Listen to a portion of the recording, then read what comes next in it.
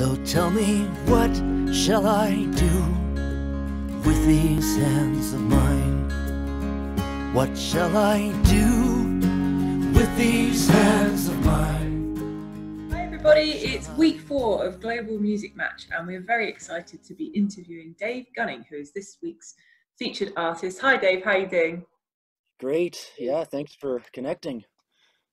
And uh, are you there in your home studio? Is that home studio I can see? Uh, yeah, yeah, there's a, a guitar amp there, and and uh, yeah, everything's ready to go here anytime. cool. Yeah, that's great. I bet that's been great during lockdown. Yeah. Um, ironically, though, I was I was um I was writing a lot of songs up until March, and then when things got weird, I, I, I was I sort of went into survival mode, like what's next. But I've been starting to get into the writing again now. So Yeah, no, it's funny. I felt exactly the same. Like it, it was Yeah, an amazing yeah. gift to have so much time. But at first, I was just so freaked out that yeah, doing the gardening seemed to take precedence to doing any writing exactly. Yeah, we, we ended up doing a album of traditional material because Hannah hadn't written any songs, so um, yeah, kept us busy anyway. Yeah, Mhm. yeah. that's great. Great to keep those songs alive and, and circulating anyway. Yeah, exactly. That was our thought, really. Yeah. Um, how are your chickens? Oh, they're great. Yeah. Um, we we wanted to have just um hens for eggs, so we waited till our neighbor could sex the chickens. You know, they know a lot about chickens, so they gave us uh, four hens, but they all turned out to be roosters, all four of them. Oh no! Us feeding them growers mash and layers mash and doing doing everything. It's like, where are the friggin' eggs? You know? That's such a shame. So you haven't had any eggs at all. Oh, we do now. We we adopted four hens from a. We rescued them from an egg factory. They they only keep them till they're about a year old or eighteen months, and then Oh, grind them up for dog food. So, like Yeah. once they get to a certain size, they can't fit thirty thousand of them in a building anymore. So we we rescued these four hens, and they're laying every day. And first time they've ever seen real grass. It's like they they Oh, it's it's it's actually heart. It was heartbreaking, but in a good way. Like to see them, they're just so happy to be like real ground, real sunlight. You know, everything's. yeah. Oh, Yeah, and, and we kept one rooster, and he's he's pretty happy about it. So yeah, I bet he is. we don't even know if he's doing it right. oh well, I'm glad you got your eggs in the end. yeah, yeah. oh. Um, talking about lockdown, we've been listening to your most recent album, Up Against the Sky, and I, I really like the song "In the Time I Was Away" about kind of the things that you miss when you're on the road all the time. And I was wondering if if you feel like having everything cancelled and suddenly being at home for so long has changed how you feel about touring at all. Well, I, like I was always um, someone who enjoyed being home the most. You know, I, I really feel fortunate to be able to to make music for a living, but um, I think that maybe I don't know. I, I see. I think I come from a long line of farmers who never left home. You know, Yeah. and um, I, I still live in the area where I grew up. So you know, the crows know me here. It seems. You know, they, it's and it's it's just uh and with we have three boys so it it's it's uh um well Judd's 16 and Will's 14 and Gus is 10 so it's been a nice time to be home to uh you know it, there's been some blessings with it I guess you know I I, Yeah. uh, I I do miss the travels as well but but um I'm sure that'll come back in, in time and in the meantime we're just once we figured out how we were going to survive we we've been actually kind of enjoying some of the home time and yeah. and uh, Yeah, Yeah. I, th- I think I, I feel quite similar myself actually. The bit I love about music is the music really, and everything Yeah. else is extra, isn't it? And gigs are lovely, but the, the traveling and stuff in between can be so grueling. And something that I've felt for a long time is about the sort of environmental impact of touring and how Yeah. how we're all going to deal with that really because it's Yeah. it's undeniably not very good to be flying around the world all the time. And um, right. I was reading about your own environmental activism. I think that's really inspiring stuff you've got involved with. And Yeah. um, I just, um, I wondered how much you think songs or art in general can actually affect change. Well, yeah, I mean that was uh, that pulp and paper issue was a cause that I worked on for close to a decade, I know more about pulp and paper than I do about folk music at this point. and we we formed a group, and you know, at the end of it, we had three pulp and paper experts on our group, and two scientists that worked for Environment Canada, and we had a uh, lot doctors and lawyers and, and business people, and we knew so much about that, and we we took it on as a. My brother said, "Well, we're not really going to be activists; we're going to be factivists," you know, and mm-hmm. just build this case brick by brick with facts and documents. And um, I was worried that at the time that I was spending so much time, as much as 30 or 40 hours a week on this on this issue, um, that I wasn't spending any time on my music, and I, I was really worried that I, I wasn't going to be able to write. But yeah. it turned out to be the opposite. Um, and I, I, think it's because it was something that I was so passionate about that I, I felt inspired to to start writing songs, and um, all of a sudden, all these songs started coming, and and uh, and I felt good about singing them.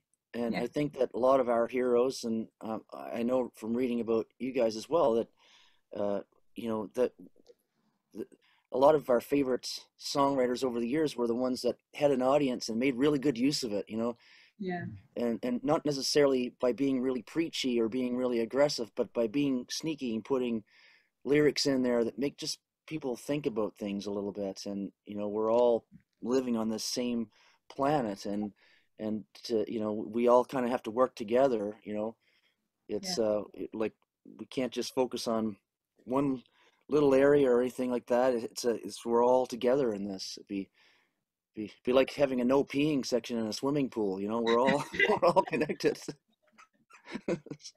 yeah I, I totally agree with you i totally agree yeah it's um it's a funny thing isn't it i think sometimes it feels a little bit um things feel a bit hopeless, but actually, I think music's yeah. a really powerful way to make people think. And, and yeah.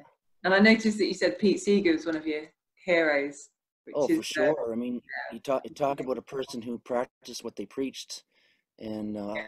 I actually became friends with um, well, one of his best friends, um, a man who, well, he was he witnessed the signing of Pete's will. Like they were very close, and Pete was, uh, yeah, he was the real deal. You know, the he, way he lived his life, and and um, it's yeah, inspiring. And mm and you know, some people have like uh, when we were fighting this issue with the mills, people said, well, "So when are you going to run for politics?" And I would say, well, I wouldn't do that for ten million dollars a year. I wouldn't. I feel that we have a have the best seat now to affect change. You know, we we're lucky as artists that we have this opportunity to uh, to get our messages out in however way, you know, gently or however we want to do it, you know? Yeah. Mm-hmm. Yeah, I, I, completely agree with you. I think it's really important. Really important. Mm-hmm. Back to the uh, recording side of things. Um, have you always recorded your own stuff, or is that a more recent? Um... Uh, I started back in in 1999, maybe starting to record my own stuff, but I would uh, I I would take it you know somewhere else to have it mixed or mastered and that.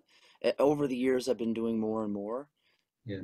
And um, it's something that I enjoy doing, and I guess it used to be that the technical side would sort of distract me from the making art side, but now I've done it for so long that it's second nature. I don't even really think about the technical stuff yeah. anymore, and I don't really sweat about where the mic is placed. I just I kind of just go for it, you know? Yeah. Yeah. yeah. It can be difficult working on your own stuff a little bit, can't It's kind of um, slightly new territory for us at the moment. We've been recording it at home just out of necessity because we couldn't go anywhere else to record. Yeah. And it's, yeah, I feel like I'm at the start of a very long learning curve, but I'm, I'm enjoying it. So yeah, well, that, yeah, and there's really, there's really no right or wrong with, with this stuff. And mm lately, uh, like Mark Lang from Australia came over to and we worked here, and he said, you know, don't worry about getting everything shiny and new sounding. You know, the element of rust in the music is great. Let's just use some room mics, and if we get a bit of noise in the background, who cares? You know, it's mm-hmm. it's about capturing a bit of magic, and and so and so now I often I'll turn on a mic that's fairly close to me, and I'll fire up a room mic too in the distance, and mm. just kind of see what I get. I think I think some of my favorite records are the ones where you get those sounds in the background that make yeah. you just sense that it's real and live. It's not just being polished out of. Existence. You know, it's really yeah, vital still. And got that. something special, something special in the air. You know? Exactly. Completely agree. And what's the Atlantic String Machine? Oh, I yeah. heard mention of that in the uh, biography. Yeah, they're uh, a, a five-piece string group based in Prince Edward Island, Oh, and um, they there, there are three of them in the group who who um who write as well. So I you know I just basically sent them a guitar vocal, and they um, created a string arrangement um, for four of my songs, and came over and recorded them. Uh, just and they're they're they're beautiful musicians, and they they're great uh, at reading music, but they're but they're also if you took their music away, they'd they'd play something beautiful too. It's it's th- yeah the, the best of both worlds with them. Yeah, that's fantastic, isn't it? I think sometimes classical players can be quite um, inhibited about playing without music, but like you say, the Yeah. technical skill with the improvisation is, the thing. Yeah, they're they're magic. Yeah. Yeah. And I suppose blending styles is something that I can hear in your music a lot because um, a, a lot of your songwriting's that kind of great Americana tradition, but there's a real um, sort of Celtic influence I'm hearing, like Irish stuff. I wondered if if that's music that you're particularly into as well, or if you have a, a family history.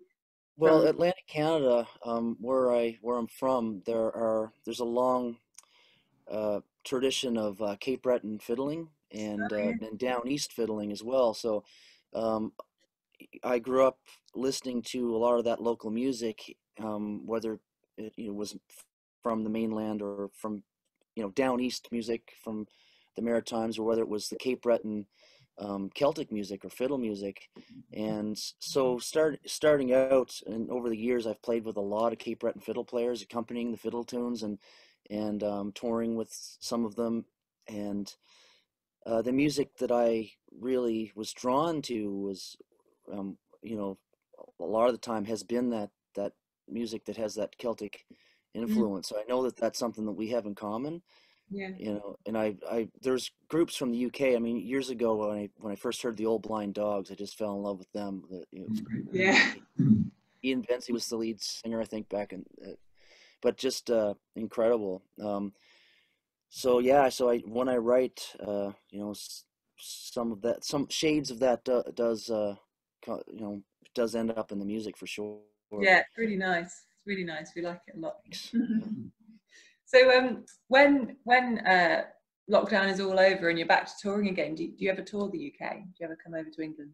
I was yeah, I have I have played there in the past, um, a couple of times in England and four times in Ireland, and I was supposed to come to the Cambridge Folk Festival uh, this year, but Yeah. uh, and there were a few other dates that they were they were looking at booking, but uh, that, Mhm. that didn't pan out. But, uh, I'm looking forward to coming back. Yeah, yeah. Yeah. Oh, well, we'd we'd really love to see you over here sometime, Dave. So um, yeah, yeah. I can't wait to see you in person, and and yeah, thanks so much. it'll happen. Yeah, it's been great talking to you. Thanks for taking the time to chat to us. Yeah, Thank you guys. Yeah. Thanks. Yeah. All the best. Bye. So tell me, what shall I do with these hands of mine? What shall I do these hands of mine? What shall I do with these hands of mine?